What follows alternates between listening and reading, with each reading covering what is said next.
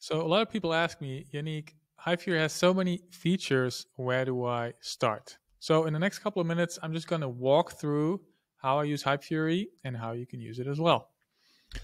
Um, create page, that's really where you'll spend most of your time.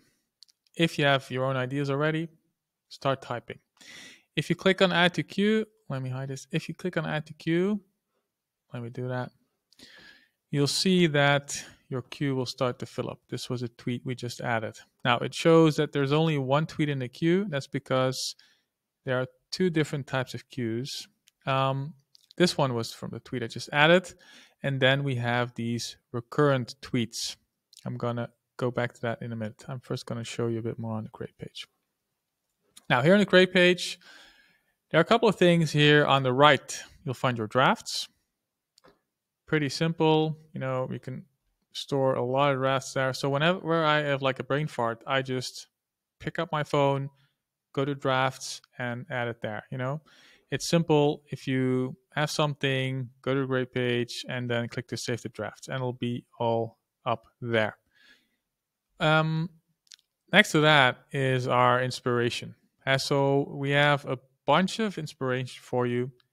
You can use templates, which is basically fill in the blanks. So, haha is a flywheel for a better life. It's just fill in, you know, you can click reuse, fill in the blank, click add to queue, and you're done. So this takes a couple of seconds and you have a new post ready. Next to um, templates, we have like all niche related content.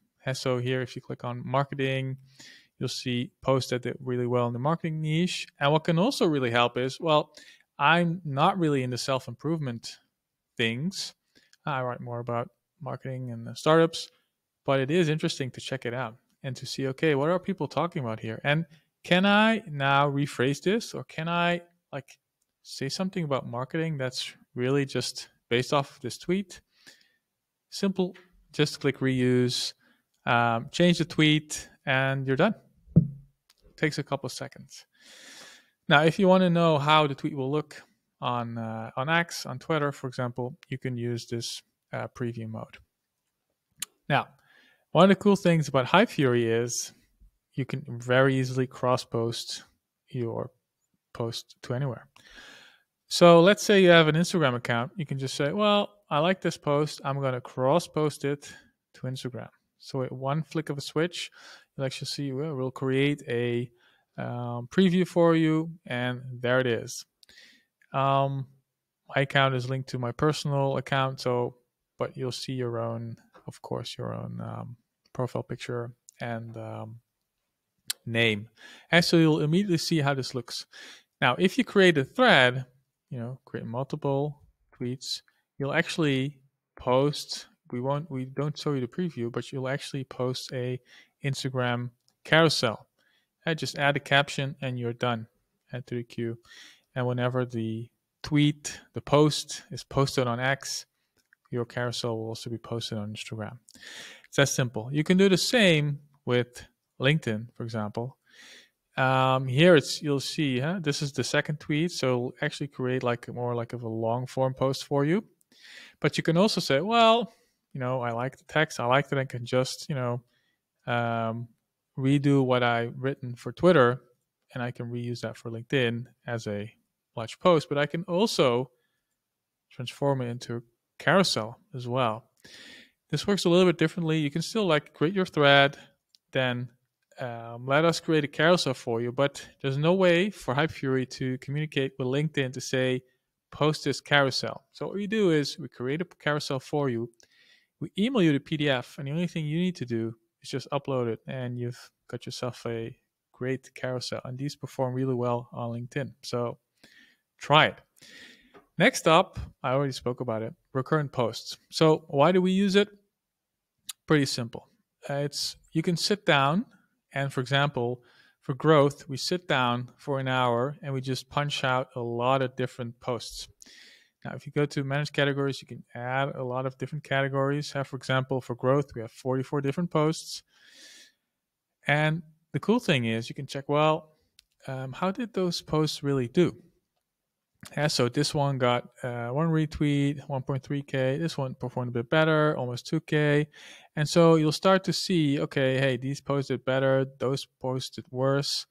I'm going to do more of these types of posts because they did better than this one. And so it's like a, a great way to see based on categories, like, hey, how did my post do? Which one can I improve? And which one can I just take out and remove?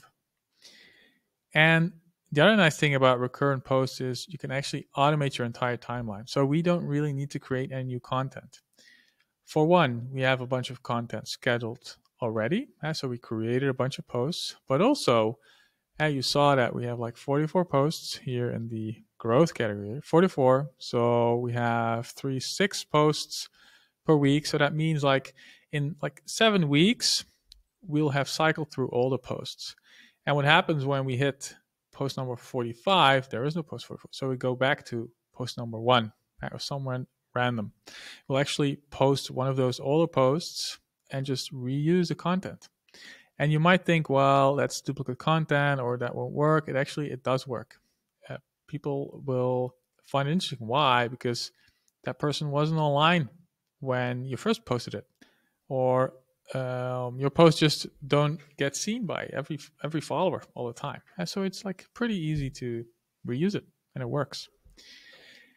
Now the other thing you really need, especially as like a you know beginner account, is the engagement builder. So how does that work? You can basically create your own timeline, add a bunch of people to it, and you can also like add search keywords so for instance marketing or startups and then you get your very own personalized uh, timeline now why is that interesting well pretty simple because you can read it you can quickly say no i don't want to respond to this one i'm going to skip skip oh, this one is interesting let's quickly reply here reply and bum and you're done same with um, you know, next tweet, you can just really quickly cycle through and, you know, go through your list.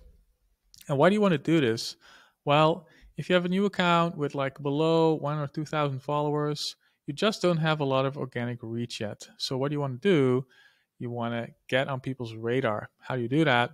By selecting people you'd like to be in front of. And so, Kieran, I don't know, he has 100,000 followers don't know exactly, but he has a lot of followers that are interesting to me because they're also interested in writing. They're into, you know, creating content. So I want to be relevant on Kieran's timeline. Why? Not just for Kieran. You know, if you're a nobody, if you just started on Twitter, on X, and people don't know you, well, you want to get in front. You want to get at the front seat. And how do you do that? By posting relevant comments on other people's timelines and you can use the engagement builder to, to do that. Now, another thing you can do is it's called auto DMs. So what we do quite often is we create a lead gen product. So let's go to Gumroad, Gumroad, um, dashboard, products. We have quite a, quite a few products. We just added a bunch new. So these are like literally new, new nobody downloaded yet. And what we'll do is we'll say, hey, we just downloaded, uh, sorry, we just created this fantastic thing. Uh, you can now master X in 25 minutes. Uh, we decided to release it for free. You can download it. Just you know, comment and like this post. Now, how does that work in Hypefury? You start a campaign. I just want a new campaign. Say finished. Totally new video course on how to master X. Uh, I decided, or we, because it's Hypefury, we decided to release it for free. Just comment with X and we'll DM you the link. We'll DM you the link. Now, super simple. The DM is going to be, hey, thanks for Thanks for commenting, etc. And then here's a URL, URL to that Gumroad product. So set the requirements. What's it going to be?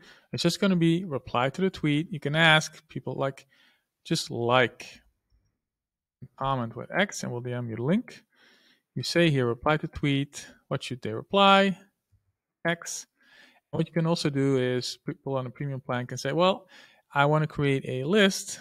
This is going to be the free X course list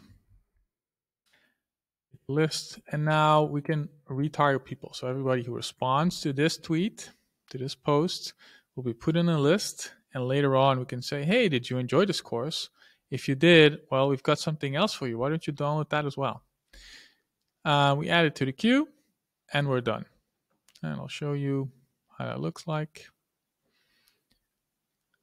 here it is now you can see there's another dm campaign attached to it i'm going to remove it because otherwise I'm going to forget in this one as well. Now, this is really the most important stuff you need to know. And I'm just going to show you analytics as well. So here you can basically see like how did my tweets perform? Like what were the best tweets?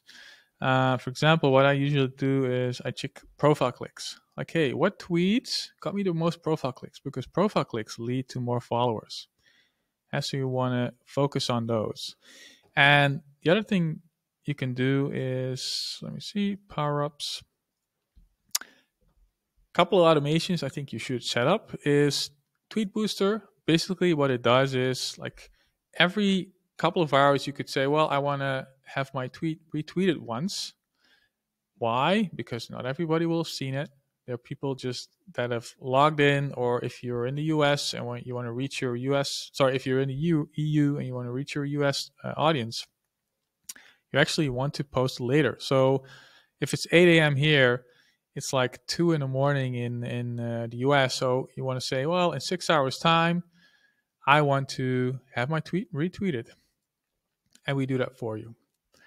Now, Another thing you can set up is like there are a lot of people who retweet other people's stuff. That's fine, but what you want don't want is to have that uh, on your timeline all the time. So we actually auto unretweet it for you.